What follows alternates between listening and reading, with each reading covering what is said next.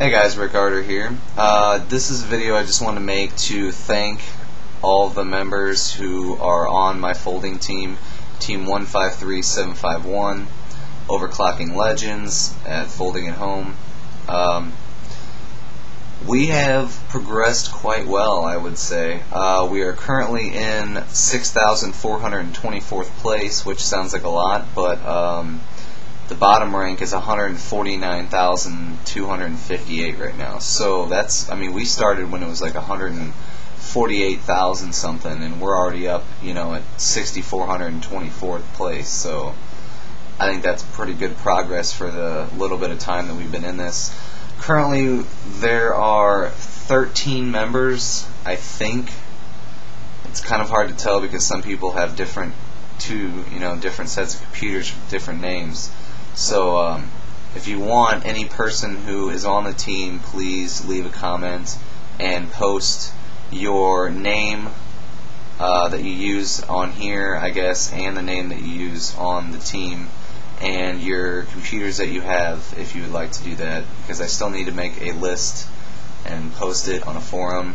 So hopefully I want to start a forum here with some other people or they're wanting to start one too I guess and I'll be able to post it there so uh, be waiting for that um, yeah guys thanks a lot um, it feels really good I mean it's it's kind of like a competition I guess you know you're trying to get first place which currently uh, Bulletron or Toast on our team, which is his team name. Um, he's in first place, pushing 212 work units so far with a score of 88,787.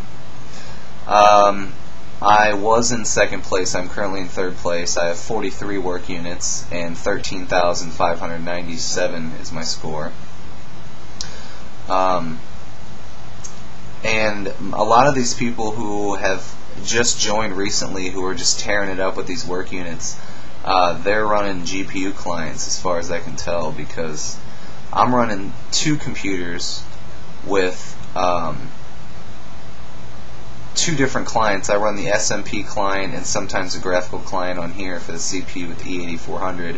And then I got my sister's computer, which is the Dell, the E4500, which is running the graphical client and that runs 24/7. Mine runs 75% of the time because um, I've just been taking stuff apart recently, and I've been doing a little more overclocking and stuff. So I've taken stuff apart, and I haven't had it running. I've been running stability tests.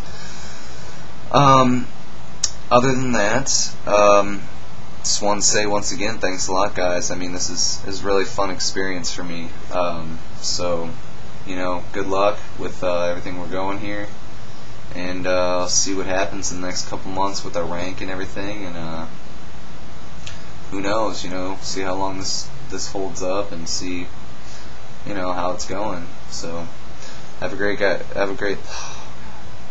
Sorry, I'm like, I'm all messed up. I'm half out of it right now. I just woke up a little while ago and I don't know. I'm trying to make this video. I just want to thank everybody, and I can't even talk right. So, have a good one, guys. I'm gonna end this now before I screw it up too much. So, all right. Talk to you guys later.